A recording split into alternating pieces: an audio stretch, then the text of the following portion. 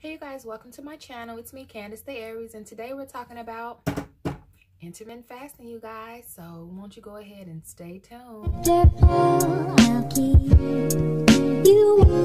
Okay, you guys. So first disclaimer, I have like some allergies going on today, you guys. So if you hear me sniffling, I'm gonna have to pause every now and then and blow my nose. So uh, that's that. If you like, she looking a little dry around the eyes, that is uh, so let's get uh, right on into it. But before we actually get right on into it, I want to give you guys a little bit of backstory. If you guys haven't gone and checked out my video on my did a water fast, you should definitely go on ahead and watch that video. Um, during the water fast, I really pulled a doozy on myself as well as my body. Um, I became completely dehydrated and I started having really severe heart palpitations that landed me in the emergency room. Had to get fluids and all of that stuff. It was a crazy ride. Um, so after that, what I noticed is when I tried to do um like fad diets or crash diets, I would start getting heart palpitations when I lowered my calories too low. So um basically what that meant is the almighty was basically telling me like hey you got to do this the old-fashioned way with uh, hard work and dedication so I decided that okay I'm gonna take baby steps which is nothing wrong with baby steps so I started um, walking on the treadmill. I told myself I was going to start walking on the treadmill.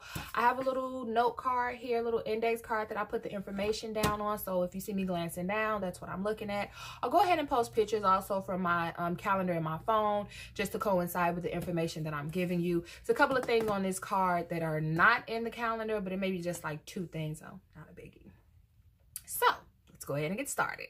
So um, January 21st, I started walking on the treadmill. The reason why I started walking on the treadmill is because I gained weight. I gained maybe about like 10 pounds. Now from the water fast, I pretty much gained all that weight back, but it distributed a different type of way, which everybody knows with the water fast, that was kind of like, it's to be expected. So anywho, so, but previously I had gained um about 10 pounds, which I was like, that's not cool. So I told myself that I was going to start walking on the treadmill. So January 21st is my first day actually walking on the treadmill. Um, my starting weight was 248.6. So um, that was not what's popping, you know. Um, I can't even believe that I even said that number out loud because that's, you know, a big step for me. But that's what it was. I was 248.6, you guys, January 21st. So I started work, walking on the treadmill. I did. I decided that I was going to do 20 minutes on the treadmill. I didn't want to do 30 because I wanted to, I wanted a time where I felt like I could do it and not feel like overwhelmed with the amount of time that I was going to have to be on the treadmill. For me personally, I was just like, oh my God, 30 minutes is just a lot for me starting out. So I was like, you know, we'll do 20. Like I said, baby steps. So I started walking on the treadmill. My speed that I was walking on the treadmill at the time was 2.5 and my incline was at a 6. Uh, with my treadmill um, at home, the top speed is 10 and the top incline is 10. So my incline was 6 and my speed was at a 2.5. That was comfortable for me at the time. Um, so from January 21st to January 23rd, I was watching like loads of videos on YouTube about um different things that you know you can do or different ways to help you actually lose weight a little bit faster. Because even though I didn't I wasn't doing like the low calorie I still wanted to lose weight fast you know. So um January 23rd I started doing HIIT and that's high interval something try I'll put the name here because I can't. Every time I try to remember what the actual acronyms stand for, I always forget. So I'll put it here. I started doing HIIT. Now with HIIT, um, I did eight reps of, I will walk at a speed of 2.5 for 90 seconds. And then I will run at a speed of 3.4 for 30 seconds. And I just would do that over and over again. I did eight reps of that when I started out with the HIIT, I would do two minutes of warm up and then two minutes of cool down. So all in all, the workout was maybe like 16, 17 minutes, or something like that, with the two minutes at the beginning and two minutes at the end or whatever. And my incline was still at a six. So, you know, HIIT was going fine and all of that stuff. But I just kind of felt like, eh, you know, maybe HIIT is to be for me. Maybe it's not to be for me. So I did, you know, I did stick to HIIT for a little bit. Um, January 27th, because I was still doing research on YouTube, I started uh, OMAD. And what OMAD stands for is one meal a day. So I would eat my one meal a day at like three o'clock in the afternoon. My eating window would be from three to four, and then I wouldn't eat again till the next day at three. So my calorie intake during OMAD was about 1200 calories. When I started on January 21st until the 27th, I was pretty much like eating what I wanted to eat, but I was just kind of being a little bit more conscious about what I was eating. When I started uh, the workout uh, January 21st, walking on the treadmill, I absolutely cut out um, juice. I'm a big juice person. I'm not a big pop person, but I am a big juice person. Um, I like all types of juices, but the my favorite juice that I would normally drink is like cranberry juice. So, but sometimes I would go for the V8 splashes and stuff like that, but I cut out the juices altogether and I was just sticking to water. It was water and tea which I still drink, you know, the tea because I love my tea. So, anywho, I started oh OMAD January 27th. I weighed myself January 28th and I was 245 even. So from January 21st, starting at 248.6 to January 28th, I was 245 even. So, um kept doing the uh the I actually had ended up I stopped the HIIT around the time that I started OMAD. Was it around the time that I started OMAD? Yeah, you know what? Yeah.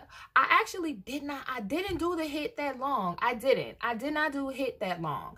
I might have did it for maybe, yeah, from like the 23rd to the like the 27th or the 28th of January, I did HIIT The reason I stopped HIIT was because I really felt like I wasn't losing any more weight than I would have lost during doing uh, OMAD and watching my calorie intake. So I was just like, you know, I'm to spare my knees and just not even do HIIT anymore. So I had stopped doing HIIT like on the 27, 28 around this time that I started OMAD.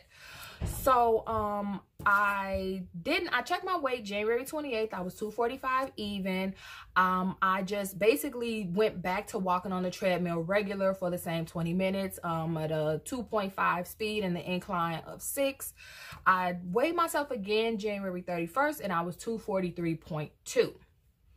So I was like, okay, that's cool. You know, I'm still losing weight, so that's good and all. Um, February 4th through the 7th, um, I ate horribly. I ate horribly. Um, I wasn't doing the OMAD during that time. I wouldn't say I ate horribly, but I didn't eat as well as I would normally have ate. Sorry, guys, I'm taking a sip of tea. Yes, this is a big cup of tea, but I like my tea. You know, I'll talk about this tea a little bit later. So, um, February 4th through the 7th, I pretty much ate what I wanted to eat. I wasn't on any type of um, eating schedule or anything like that. I was just eating.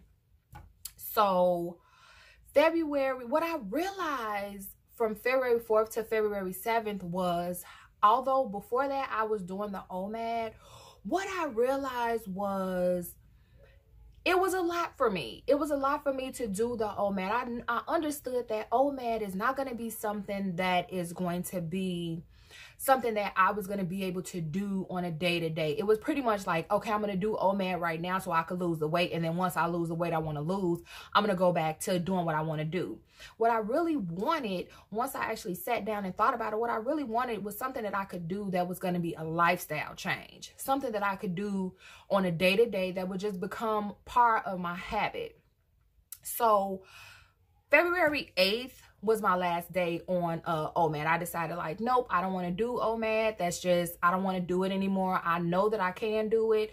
And so that was it. One thing I will say about the water fast is it taught me a lot about mind over matter. So it made it very easy for me to tell myself like, okay, well, you know, you just can't eat. Because it's like, if you can go all day eating nothing at all, and you're only drinking water, surely you can go hours without eating and eat one meal at a certain amount of time. So that in in that aspect, the water fast really did help me with the whole mind over matter thing.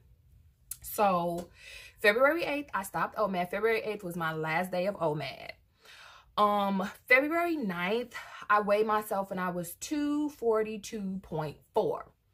And that's when I started my intermittent fasting. Now, on the 9th, when I started my intermittent fasting, I was doing the 24. So I would fast for 20 hours and then I would eat for four hours. And throughout this whole time, um, I would my my time my cutoff time for my eating was eight o'clock. That was from the 21st up until now. But now we're on February 12th. So from then, from the 21st to the 12th, I was doing the, uh, I was still cutting my food off at 8. I still do that now. One second, you guys. I need to blow my nose. Okay. Okay, I'm back. So, um, I started intermittent fasting February 9th. February 12th, I weighed myself. So from the 9th to the 12th, I was doing the 24.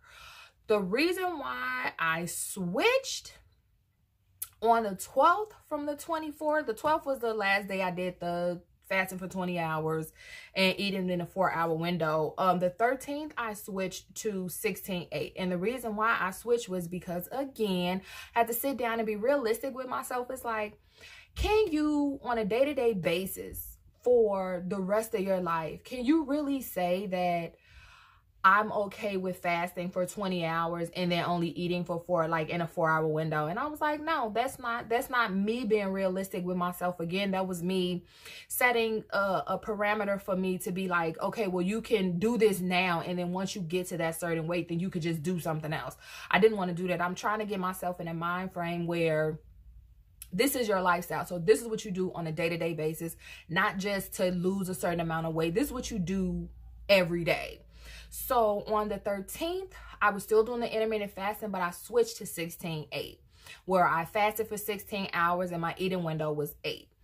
In the past, I've done intermittent fasting and 16-8 was the time frame that I've always chosen and I, I had tremendous results from that. After I had my son, my highest weight was like 288 or something like that like almost 290 like it was it was bad. I gained 50 pounds with him and then afterwards it was just it was a mess. A lot of people say oh when you breastfeed you lose weight. That did not happen for me unfortunately but you know hey it is what it is.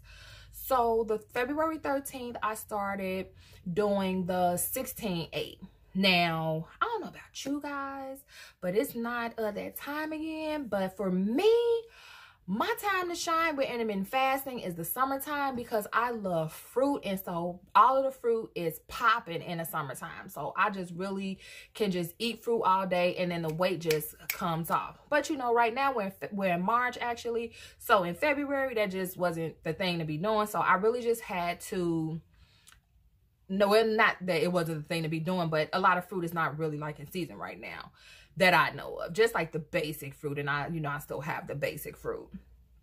So February 13th, I started doing the 16-8. Worked is working perfectly for me. So I eat at 12. I eat at noon. Well, I, I break my fast at noon. And then I stop eating around 7 because 8 o'clock is my cutoff time. I don't, I didn't want to have my last meal around 8 o'clock or like 10 minutes before 8 o'clock because I didn't want to, I just didn't want to be eating that close to 8 o'clock. So 7 o'clock for me works fine. It's like, okay, so you finished up your eating for the day at 7 o'clock. And then when 8 o'clock comes, you'll just fast until the next day that works out for me. So that's what I do. So I break my fast at noon and then my eating window is from noon to eight. And then I just eight o'clock, I just know that you, you're not eating anything else until noon the next day, which is fine. So, um, after the 12th, I didn't weigh myself again. February 15th was my monthly started. And I weighed myself February 15th. I don't know why I did it. I think I was just on some like, I just want to see. And I was 20, uh, no, 20. I was 240.6. So February 12th, I was 240.4 and then I got my monthly on the 15th of February and I was 240.6. So I have my, my monthly, monthly left and all of that good stuff. And um, I didn't weigh myself again until February 23rd. When I weighed myself February 23rd, I was 238.4 which meant from January 21st to February 23rd, I lost about um, 10 pounds. Like maybe, maybe 10 pounds and like two ounces or something like that. But it was 10 pounds, y'all. So it was 10 pounds in about a month which I was very, very proud of myself because I felt like I did it the right way. I was conscious about what I was eating. I was conscious about what I was doing. I made sure that I wasn't cutting my calories too much. Like when I started the intermittent fasting, I absolutely stopped counting my calories. I just am more mindful of what I eat. So like this is a big cup, but this is the cup of tea that I normally will make when I break my fast. So this is some black tea that I um that I drink all the time. Um I'll put a picture here, whatever. Um they come you get this in tea bags. Um I use the Keurig for this or whatever. But um when I drink this, I add sugar cuz I like my sugar. And I also put three capfuls of the apple cider vinegar with the mother in there. I don't like measure perfectly. I'm just like one cap, two cap, three caps of the apple cider vinegar in here. Um, if you if you're not a tea drinker, you could put the apple cider vinegar in infuse water. I don't know.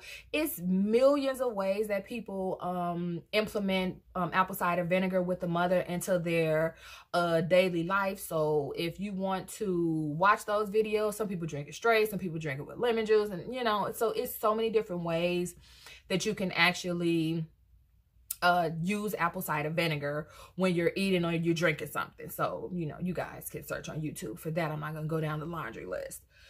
So, um, that's pretty much, I always, when I break my fast at noon, I always break my fast with a, um, cup of tea. And then after that, you know, I kind of just go throughout my day. And I just basically, like, I eat when I'm hungry. I eat if I'm hungry. Like, I'll still drink water and stuff like that. One thing that I started doing is, like, when I feel hungry, I'll drink some water. And if I'm still hungry, like 30 minutes after I drink the water, then I'll go ahead and eat. Because what I noticed is when you're thirsty and when you're hungry, sometimes your being thirsty will make you feel like you're hungry, but you're not really hungry. You're really just thirsty. So what I started doing was I would just drink some water. I'll wait 30 minutes. If I'm still hungry after 30 minutes, then I'll go ahead and eat. Um, not counting my calories anymore. That is just not something that I'm doing. Um, the whole time, maybe from like January 27th, I started with, I upped my incline when I started doing the OMAD. So I was doing six and I went from like six to like 6.5. Now, um, in March, I do, um, I still do the speed at three, but my incline is at an eight. So I'm slowly working myself up on the incline. The My treadmill only goes up to an incline of 10. And I'm still working at a speed of 3. That just works out for me. Sometimes I hold on to the, the bars on the side. Sometimes I don't. People are like, well, if you got to hold on to the bars to walk, then it's going too fast. I say, if you're not falling, then it ain't too fast. That's just how I feel. You have to do what works for you. Don't let people on YouTube or anybody else tell you how fast you need to be walking or how slow you need to be walking. You need to walk at a speed that you feel comfortable. If you feel more comfortable holding on to the sides of the bar, then guess what, boo-boo? Hold on to the sides of those bars. Don't make nobody feel, don't let nobody make you feel like you're not getting a good workout or just as good of a workout as anybody else who's not holding on to the side of the bars because you are. Um, the calories that I burn with my workout, I do a 20 minute workout. Um, I walk at a speed of 2.5 with an incline of 8 for um two minutes and then the rest of the time I walk at the 8 incline at a speed of 3 and then for the last two minutes, I drop the incline all the way down to zero. And then I walk at a speed from two uh, of 2.5 for my two minute cool down. I do that just about every day. From January 21st to now, I might have missed maybe like, maybe like, maybe like six or seven days something like that. It hasn't been it hasn't been many. When i was on my uh, monthly i missed one day and then the next day i went you know got on the treadmill. Even though i did a lower speed i did an incline of six and i did a speed of 2.5 because i just felt horrible but i knew that i needed to get that workout in um, when I do my workouts, I normally burn between 160 and 170 calories. Other people might burn more than that. I'm drenched in sweat. I'm cool with that cal. I'm cool with those calories. I'm not tripping on that. I'm not really worried about that. What I'm worried about is how I look in my clothes. I'm not even so much worried about the scale because the scale is is is gonna is always gonna say something that you not necessarily are gonna want to see. So it's like i go by what i look like in my clothes now. But i do want those numbers to get lower though. I'm not gonna lie. But when i put my clothes on now like i see i'm like she poking. Oh she wasn't poking before. I'm like oh it's big huh? Like where does where does where does Latush come from? It it wasn't there before. Trust. I've I've never been like a super super duper shapely girl. Like I'm five eleven, but I've never been like you know.